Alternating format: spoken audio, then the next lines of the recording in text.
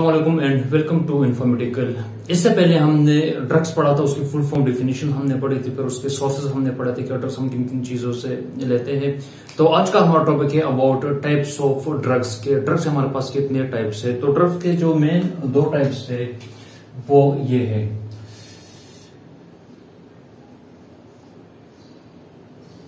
Drugs हमारे पास दो types के होते हैं। नंबर वन मेडिसिनल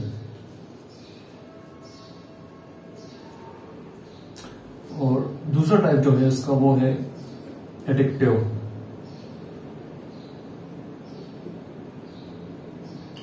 अब वो मेडिसिनल क्या है और एडिक्टिव क्या है थोड़ा सा इसके बारे में हम पढ़ते हैं। देखो मेडिसिनल वो ड्रग है जो हम किसी बीमारी के लिए हम यूज़ करते हैं और एडिक्टिव वो ड्रग है जो हम, जो हमें उसके यूज़ करने से हम उसकी आदि हो जाते हैं। यानी ये एडिक्ट से निकला हुआ है तो एडिक्टिव वो ड्रग्स है जिसको यूज़ करने से हम आदि हो जाते हैं। और मेडिसिनल वो ड्रग है जो हम एक खास बीमारी के लिए हम यूज़ करते हैं। तो मेडिसिनल की हम डेफिनेशन को इस करेंगे कि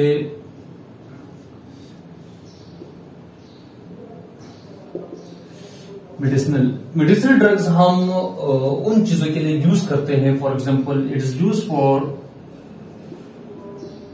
it is use for treatment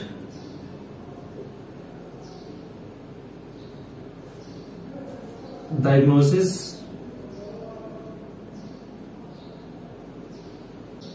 And preventions. इसकी एक आम सी डेफिनेशन है कि मेडिसिनल ड्रग हम किसके लिए यूज़ करते हैं? ट्रीटमेंट के लिए डायग्नोसिस के लिए या प्रिवेंशन के लिए? इसका जो दूसरा डेफिनेशन है, वो मैं यहाँ पे लिख लेता हूँ।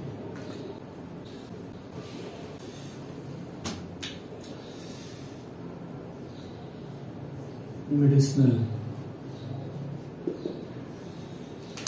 मेडिसिनल ड्रग की दूसरी डिफिनेशन ये है कि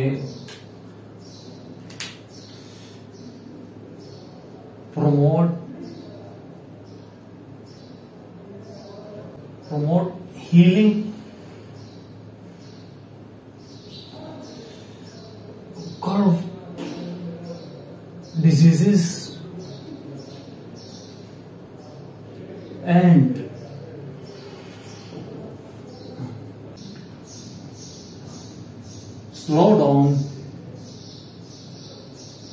the growth of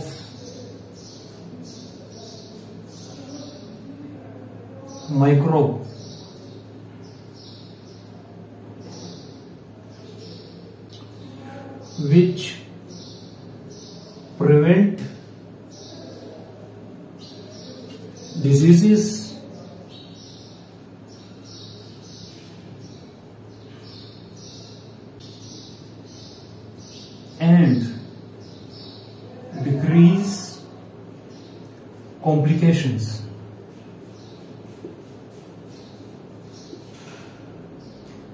तो ये है मेडिसिनल ड्रग की डेफिनेशन मैं इसको फिर से एक बार रिपीट करता हूँ कि प्रोमोट हीलिंग यानी हम वो ड्रग जो हम किसी जख्म के लिए यूज़ करते हैं, यानी जख्म की रिकवरी के लिए जो यूज़ करते हैं, या कर्व डिजीजेस या बीमारी के लिए हम यूज़ करते हैं and slow down the growth of microbes यानी जितने भी हम एंटीबायोटिक ड्रग्स हम यूज़ करते हैं, जो बैक्टीरिया होते हैं, वो हार्मफुल जो कि डिजीजेस कॉज करता है, उसकी ग्रोथ को स्लो डाउन करती है इसके अलावा प्रिवेंट डिजीजेस और बीमारियों से बचाता है। आप लोगों ने अगर देखा होगा, जब बच्चे पैदा हो जाते हैं तो उनको वैक्सीन लगाई जाती है बीसीजी वैक्सीन लगाई जाती है।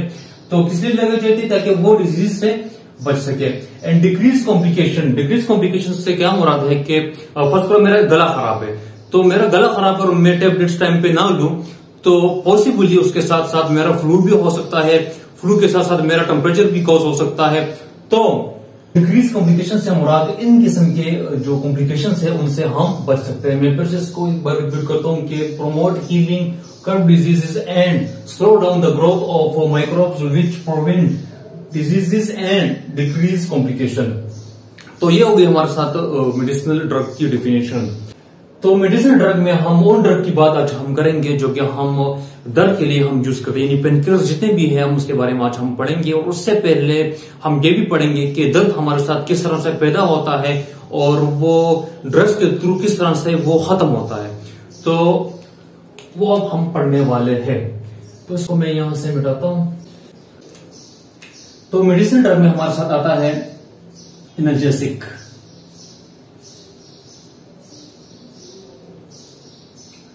इनर्जेसिक जो है, ये इसे इनर्जेसिया भी कहा जाता है। और इसका तीसरा नाम पेनकिलर भी है। पेनकिलर इनर्जेसिक इनर्जेसिया या पेनकिलर आप इसे कह सकते हैं। तो इनर्जेसिया हमारे साथ कौन कौन से ड्रग्स हैं और वो काम किस तरह से करता है, वो आज हम पढ़ने वाले हैं। तो इनर्जेसिक की हम डिफिनेशन किस तरह से करते हैं? इनर्जेसिक डिफिनेशन बिल्कुल सिंपल है, इसको हम इस तरह से टू रिड्यूस और स्टॉप द पेन बिल्कुल इजी है. टू रिड्यूस और स्टॉप द पेन यानी पेन को कम करना या पेन को खत्म करना there drugs are called analgesic drugs तो यहाँ तक बात क्लियर हो गई। अब हम पढ़ते हैं कि इनर्जेसिक में हमारे साथ कौन कौन से क्लासेस है। तो इनर्जेसिक में सबसे पहले जो हमारे पास आता है, वो है ओपॉइड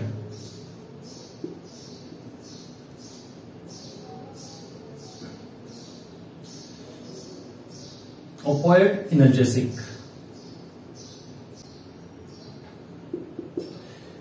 अच्छा ओपॉइड इनर्जेसिक में आप लोग ये बात याद रखनी चाहिए कि ये वो वाले ड्रग्स है जो कि हम अफीम से लेते हैं। वो वाले ड्रग्स जो हम अफीम से लेते हैं और उसका यूज़ हम सर्वाइव पेन के लिए करते हैं। यानी फ़र्स्ट और किसी ने एक्सीडेंट कर लिया या किसी का ऑपरेशन हो गया या किसी को बुलेट जो है वो हिट हो गई तो इन चीज़ों के लिए हम इन ड्रग्स का यूज़ करते हैं। और फ़र्स्ट किसी ने ऑपरेशन कर तो वो तो कॉन्स्टांट या डिस्प्लिन से तो वो पेन कंट्रोल नहीं होता। ज़ाहिर सी बात है, उसके लिए हम ये ड्रग्स का यूज़ करते हैं। देखो ओपोइड इनर्जेसिक जो है, ये हम किस चीज़ से लेते हैं? हमने सोर्स ऑफ़ ड्रग्स में पढ़ा था, एक सोर्स था हमारे साथ प्लांट सोर्स में जो आता था, वो था पोपी प्लांट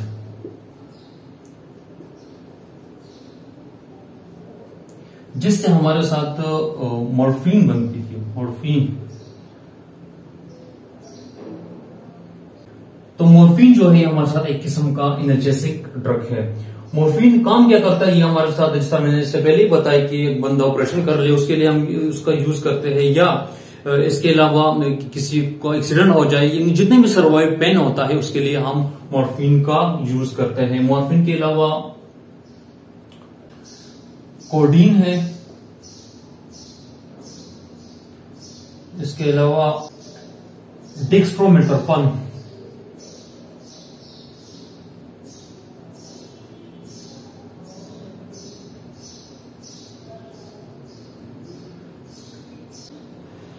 कफिंग शरबत है, एक कोसोम नाम का एक शरबत आता है, उसमें ये शामिल होता है। अब ये करता क्या है, ये वो सीने का जो पेन होता है, उसको भी कम कर देता है, इसके अलावा ये बंदे को थोड़ा सा नशा भी नहीं, आराम भी ये थोड़ा सा पहुँचा देता है। तो डिक्सट्रोमेडोपेन के अलावा हीरोइन और हीरोइन तो ये सारे ड्रग्स जो है हमारे साथ इनर्जेसिक में कौन होते हैं और इसका यूज़ भी मैंने बताया कि जो सर्वाइव पेन होते हैं, बंदे का एक्सीडेंट हो जाए या एक बंदा ऑपरेशन कर ले या किसी को गोली लग जाए। अच्छा यहाँ तक बात क्लियर हो गई। अब इसके बाद हम फार्माडायनेमिक पढ़ेंगे। किस चीज़ का फार्माडायनेमिक ओपाइड इनर्जेसिक का हम अब फार्माडायनेमिक पढ़ने वाले हैं। फार्माडायनेमिक जिस तरह मैंने इससे पहले लेक्चर में भी बताया कि the action of drug on the body यानी इन ड्रग्स का बॉडी पे किस तरह से एक्शन होता है? इन सिंपल वर्ड्स सबसे पहले मैं स्टार्ट लूँगा कि पेन जो है वो हम, हमारी बॉडी में किस तरह से पैदा होता है और फिर इन, इसी ड्रग्स का यूज़ करके उस पेन को किस तरह से हम कम करते हैं या खत्म कर देते हैं। एग्जैक्टली पेन में होता क्या है और पेन किस तरह से खत्म होता है? हम पेन के साथ क्या करते हैं? किस वजह से वो ड्रग्स के थ्रू खत्म हो जाता है? तो वो मैं अब पढ़ाने वाला हूँ। तो मैं इसको यहाँ से मिटाता हूँ।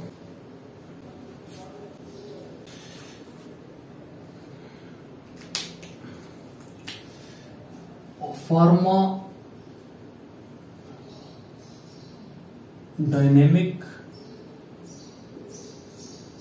of opioid analgesic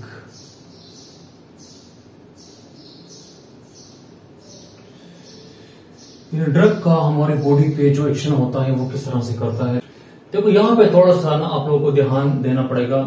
देखो, हमारे पास एक न्यूरॉन है। क्या है? न्यूरॉन है। ये एक न्यूरॉन सेल है। तो इसके यहाँ पे हमारे साथ छोटे छोटे तेले प्रेजेंट होते हैं। क्या प्रेजेंट होते हैं? तेले प्रेजेंट होता है। और इन्हीं तेलों में हमारे साथ एक केमिकल्स प्रेजेंट होते हैं जो कि पेन कॉज करता है।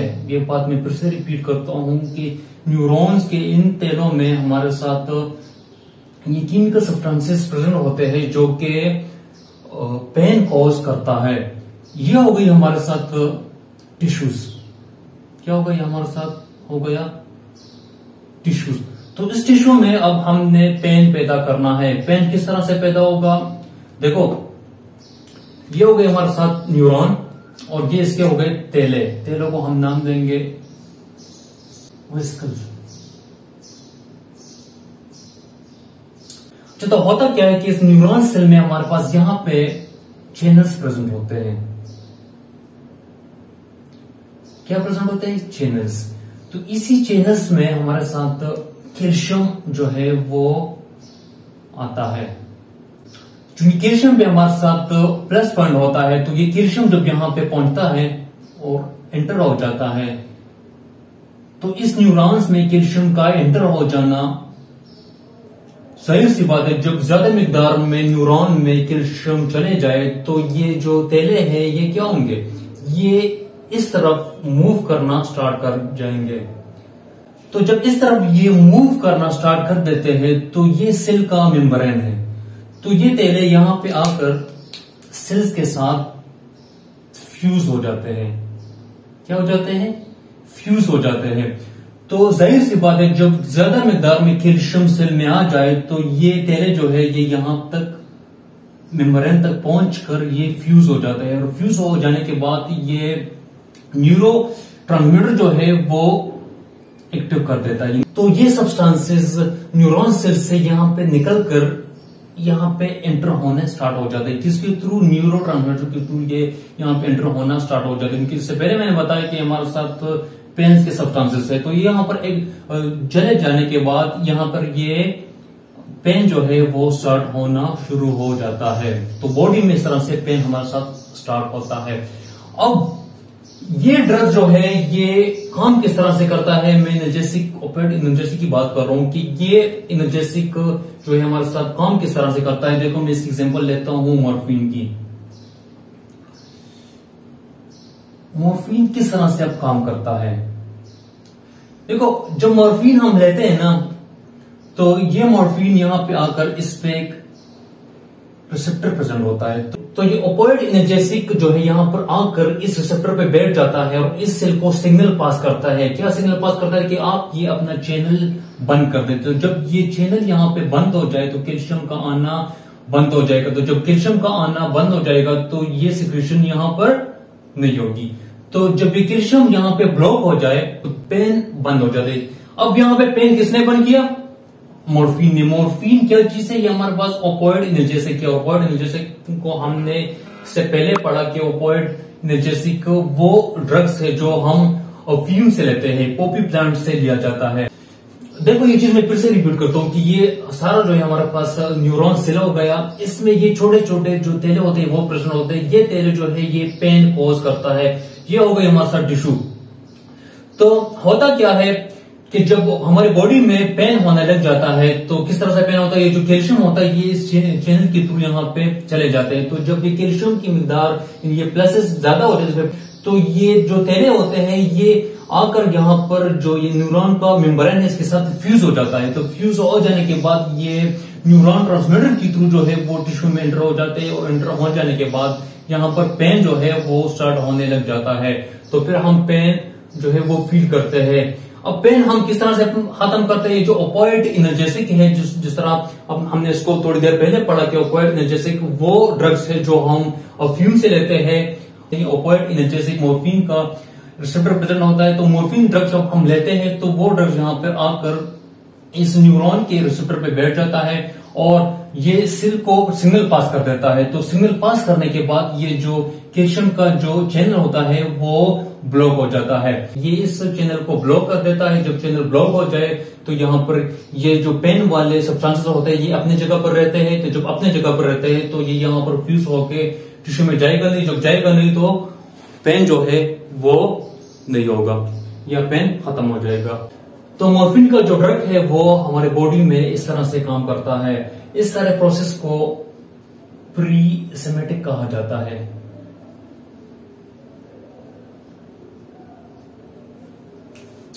यहाँ तक बात क्लियर हो गई। तो ये था हमारे साथ ओपोइड इनर्जेसिक अब हम बात करते हैं non opioid analgesic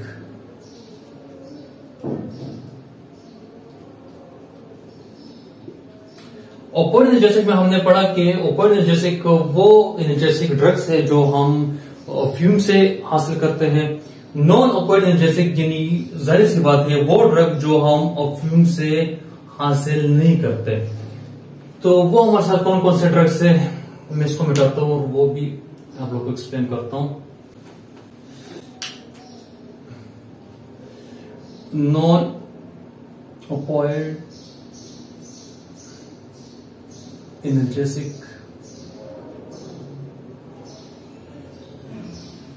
ड्रग देखो, इसकी जो सबसे बड़ी एग्जांपल है नॉन ओपेड एनर्जेसिक की वो है पैरासिटामोल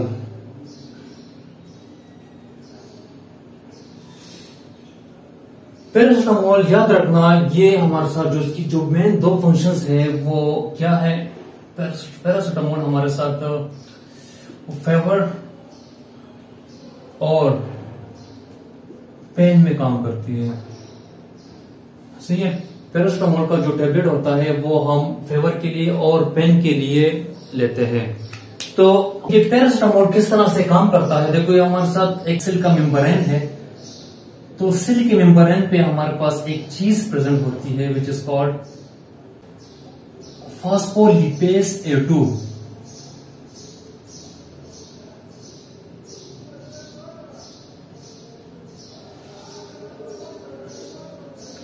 तो होता क्या है कि ये फॉस्पा लिपेस ज़ाहिर सी बात है, इसमें यहाँ पे लिपिड भी प्रेजेंट होगा। ए जो है, ये लिपिड को कन्वर्ट करता है किस चीज़ में? एरेक्टोनिक एसिड में।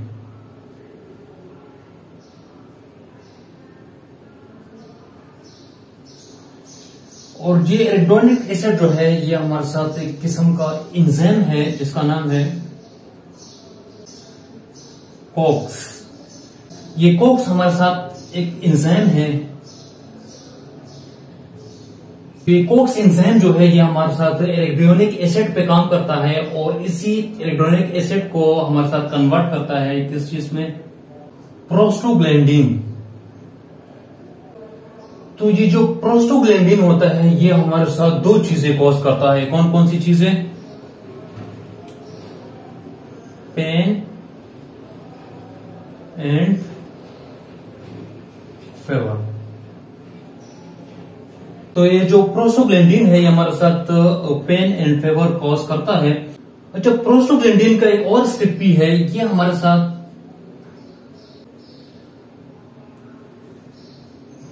टू को कन्वर्ट करता है पीजीई में। जब ये टू पीजीई में कन्वर्ट हो जाता है, उसके बाद ही हमारे साथ पेन और फेवर कॉज करता है। तो ये तो हो गई पेन और फेवर की बात है किस तरह से हमारे साथ ये बॉडी में पैदा होता है। अब पेरास्टामोल की बात करते हैं कि पेरास्टामोल जो कि हमारे साथ एक नॉन ओपोइड इनर्जेसिक ड्रग है, वो किस तरह से काम करता है? तो ये जो पैरासिटामोल का ड्रग है, ये हमारे साथ यहाँ पे काम करता है। ये जो पीजीजी टू है, ये इसको पीजीई में कन्वर्ट नहीं करता। अगर ये पीजीजी टू पीजीई में कन्वर्ट हो जाए तो ये पेन और फेवर कॉज करेगा। तो जो पैरासिटामोल का ड्रग है, ये हमारे साथ यहाँ पे काम करता है। मैं फिर से इस चीज़ को रिपीट करता हूँ पैरासिटामोल जो है, वो पीजीजी टू को ब्लॉक करता है कि पीजीई में कन्वर्ट ना हो जाए। तो जिस तरह इससे पहले हमने पढ़ा कि मॉर्फिन का जो काम था, वो जो कैल्शियम का चैनल था, उसको ब्लॉक करता था। पैरासिटामोल जो है वो पीजी टू को ब्लॉक करता है ताकि वो पीजीई में कन्वर्ट ना हो जाए। अगर पीजी पीजी टू जो है वो पीजीई में कन्वर्ट हो जाए तो वो पेन और फेवर कॉज करेगा। तो होपफुली आप लोगों को नॉन ऑपोइड जैसे ड्रग की समझ आ चुकी होगी कि ये किस तरह से काम करता है और इसमें हम कौन सी चीज़ ब्लॉक करते हैं ताकि पेन और फेवर को स्टॉप किया जा सके। तो इसके बाद आता है इंसेट और फिर सेट आता है जो कि इनर्जेसिक है। तो उन दोनों को फिर इंशाल्लाह हम नेक्स्ट लेक्चर में पढ़ेंगे। अच्छा ये बात याद रखिएगा कि जो मेडिसिनल ड्रग्स है, ये इस पे तकरीबन मैं चार से पाँच लेक्चर मैं सोच रहा हूँ कि इस पे बनाऊँ ये काफ़ी ज़्यादा लेंथी है और काफ़ी इंफॉर्मेटिव भी है। तो मैं कोशिश करूँ कि वो मजीद चार से पाँच लेक्चर में मैं इसको कंप्लीट करूँ। तो फिर इंशाल्लाह इसके बाद हम एडिटिव ड्रग्स को भी डिस्कस करेंगे कि वो हमारे साथ किस तरह से बॉडी पे काम करता है उसमें कौन कौन से ड्रग्स शामिल है। तो इंशाल्लाह फिर मिलते हैं नेक्स्ट लेक्चर में। तब तक के लिए अल्लाह हाफिज़।